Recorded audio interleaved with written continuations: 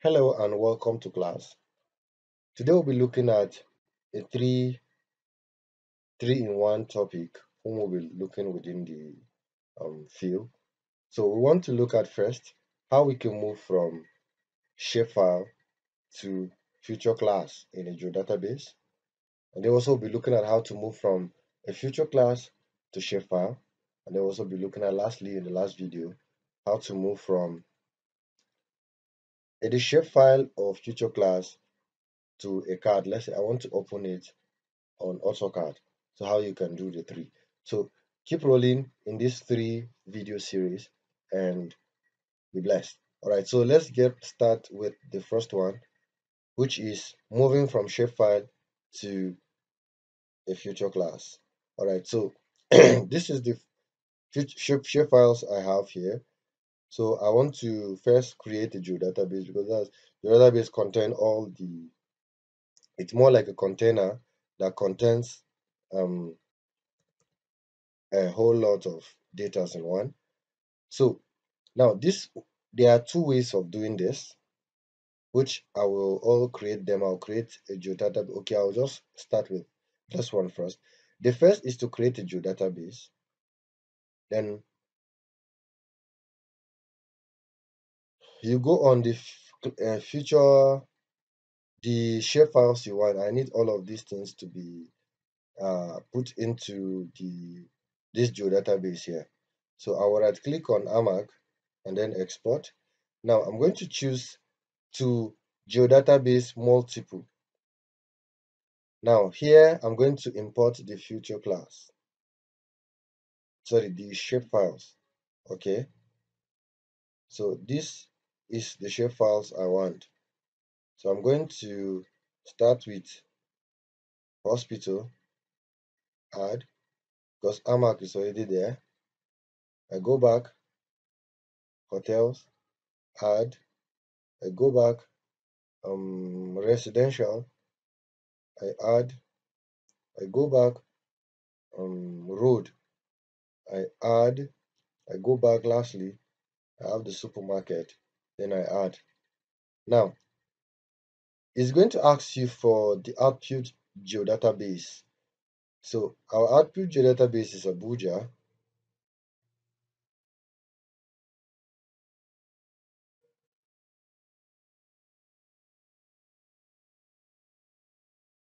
So add it to it. And then what it does is that all the the coordinate system that these are having is what will be imported to it will be it will import with its uh, coordinate system.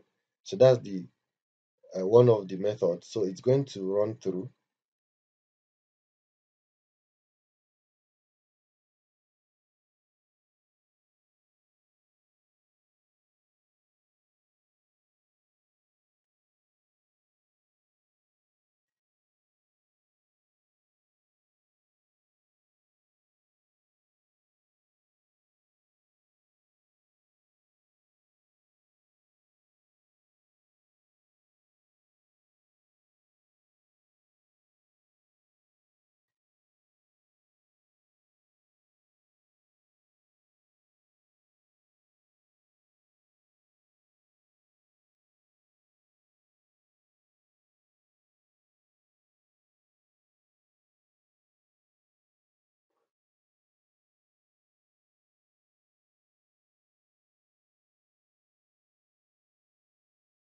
Alright, so it's done importing it into a geodatabase.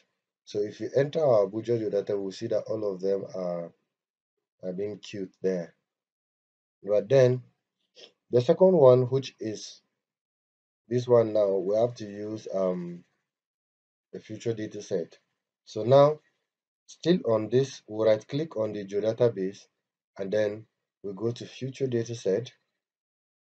Then let's say let's name it network. Network. Then we go next. This time we're going to give it a coordinate system because creating a geodata network data sorry a data set it requires you to give it a coordinate system so that anything coming into it will have the same coordinate system now in this method or in this type let's go back to our hospital now we start with amac now so this you go to export. And then this time around you go to geodatabase single meaning you are only exporting it one one. So network will be where we're exporting it to. Then we okay oh sorry. We need to give it a output. So our output will be amac. It's the admi the administrative boundary of uh, the abuja municipal area council okay.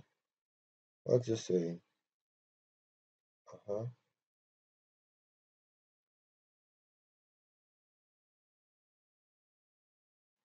Amac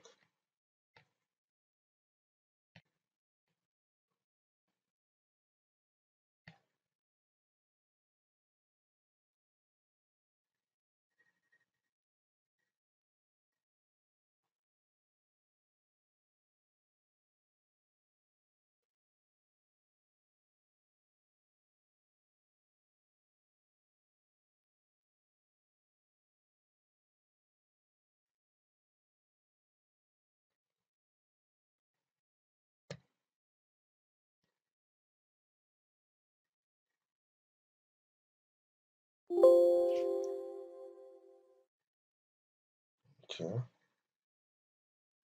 Let's say amac b. Boundary. I think it's saying the name has already exist. So let's say amac boundary. Okay. So it's done. We go back. So this time around you're doing it one one. So hospital single again. And then network. And then hospitals because I think it's also taking record of the ones that are on on the geodatabase I think so. So we have um, hotels so right click export to geodatabase single.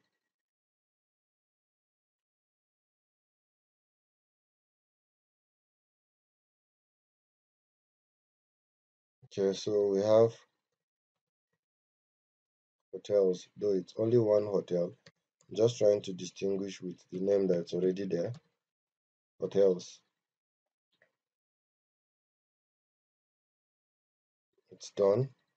What else do we have? We have road. So let's do road. Right click go to export to geodatabase single. So and then here we have roads. And then we okay. So road is in existence. Let's try road. Okay. Road since there are very many roads it's going to take quite some time.